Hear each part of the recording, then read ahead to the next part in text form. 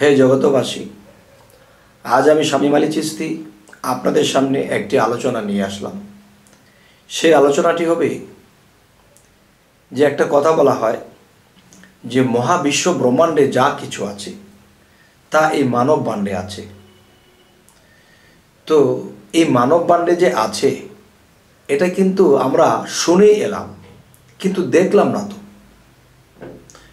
আচ্ছা তাহলে একটা দেখা হলো যে বাহির থেকে কেউ একটা বিল্ডিং দেখিয়ে দিল, বিশতলা বিল্ডিং, যে নিচের ফ্ল্যাটে গাড়ি রাখা হয়, উপরের ফ্ল্যাটে মার্কেট, এর উপরের ফ্ল্যাটে মানুষ বসবাস করে, এর উপরের ফ্ল্যাটে এটা সেটা, তাহলে এটা বাহির থেকে বলা হলো। তো বাহির থেকে যে বলা হলো, এটাও কিন্তু ভুল হলো না। কিন্তু প্র্যাকটিক্যালে যদি ওই বিল্ডিংয়ের ভিতরে ঢোকা হয়, তখন দেখা যায় নিচে কি রাখে, উপরে কি রাখে, এর উপরে কি মানুষ থাকে, না মার্কেট আছে, গেলে প্র্যাকটিক্যালে তখন সব কিছু দেখে আসা যায়। তবে আপনাদেরকে নিয়ে এই মার্কেটের ভিতরে তো এখন ঢোকা সম্ভব নয়। তবে এই চোদ্দতলা দেহের ভিতরে কোথায়, কোন স্তরে, কীভাবে কি আছে, আজকে বাহির থেকে আপনাদেরকে বলা হবে।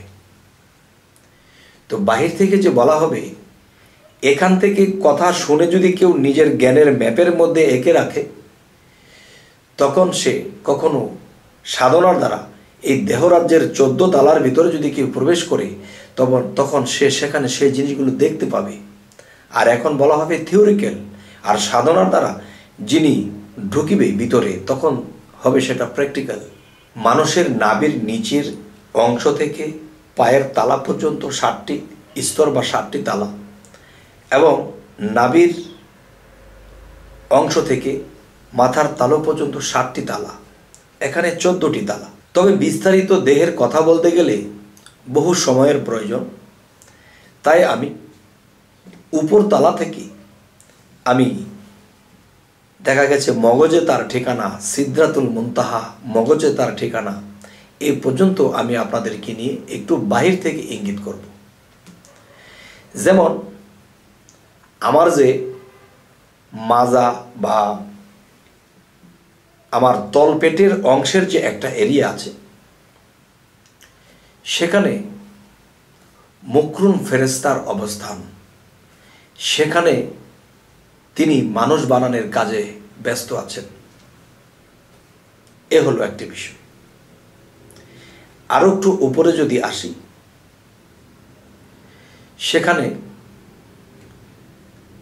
দেখা যায় বায়ু পিত্ত কপ, যে জিনিসগুলো, সেটা আমাদের করার নিচে এবং নাভির উপরে। এরপরে হলো যে আরও একটু উপরে যদি আসি, সেখানে আমরা চৌথ আসমান অনুভব করব। আর আল্লাহ কি বলেছে? আমি নিঘুম রাতে, আমি চৌথ আসমানে এসে বসি। কার কি দরকার, কে কি চাবা চেয়ে নাও। তাহলে মহাবিশ্ব ব্রহ্মাণ্ডের মধ্যে যদি চৌথা আসমান বাদ, চারটা স্তরের চার নম্বর আসমানে আল্লাহ যদি সিংহাসনে এসে বসে থাকে, তাহলে আল্লাহ কিন্তু এটাও বলেছে যে আমি মমিনের কালবের সিংহাসন আমার। আর সেই সিংহাসনে বসে আমি ফায়সালা করে থাকি, যার যা দরকার তা দিয়ে থাকি। যারা মসজিদ ধরেছে, তারা মহাবিশ্বে খুঁজবে না। নিজের কালবে চৌথা আসমানে এই এরিয়ার মধ্যে আল্লাহকে খুঁজে নেবে এবং আল্লাহ সেখানে বসে ফায়সালা দিয়ে যাবে। তো সমস্ত স্তরের কথা ইউটিউবে এভাবে বলা যায় না, তবু যতটুকু পারা যায়। তো আরও একটি বিষয় হলো যে শর্ট করে উঠে যাব ওপরে। যেমন আমরা বলা হয় লৌহে মাহফুজ এবং বলা হয় সিদ্রাতুল মুন্তাহা এবং বলা হয় আরশে আজিম। আরশে আজিম আল্লাহর বাড়ি। আর কাল্প চৌথা আসমান, এখানে আল্লাহর অফিস রুম, এখানে আল্লাহ বসে কার কি লাগে সমাধা করে দেয়। আর আল্লাহর বাড়ি মগজে তার ঠিকানা যাকে সিদ্ধাতুল মন্তাহা বলা হয়, যাকে আরশে আজিম বলা হয়। তাহলে সেই আরশে আজিমটি কোথায়?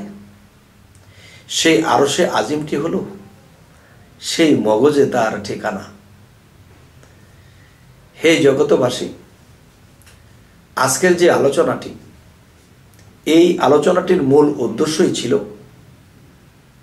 যে সিদ্ধাতুল মুনতাহা মগজে তার ঠিকানা আরও সে আজিম সেখানেই আল্লাহর আস্তানা তো আমাদের জালালউদ্দিন খা, তিনি আমার চাচা গুরু তিনি একটা কথা বলেছেন যে সিদ্ধাতুল মুনতাহাপুরে মগজে তার ঠিকানা, যাইতে আসা, জানি না বিধি নিবি কিনা। তবে সেখানেও মানুষ যায়, আল্লাহ সেখানে তাকে নেয়, যদি কেউ সে পবিত্র হতে পারে। তাই আল্লাহ কোরআনে কিন্তু বলেছে, যে নিজেকে পবিত্র করল তিনি সফল কাম।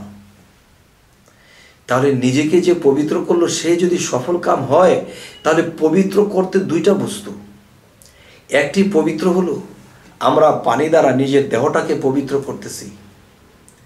আরেকটা পবিত্র হলো, নিজের আত্মাকে পবিত্র করা। যদি আমার আত্মা পবিত্র হয় তাহলে ইহকাল আর পরকালে থাকবে না আমাদের ভয়। অবশ্যই আমাদের হবে জয়।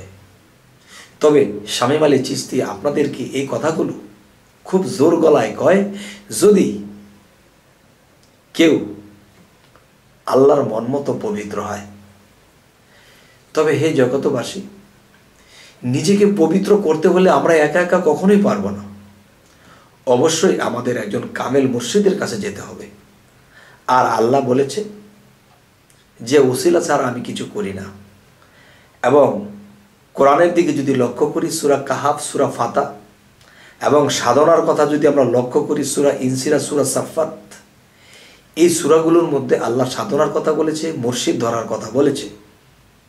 তো এখন দেখা যায় যে যতদিন পর্যন্ত আমরা মসজিদ না ধরব, ততদিন পর্যন্ত আমরা আমরা কখনো লাইন পাব না।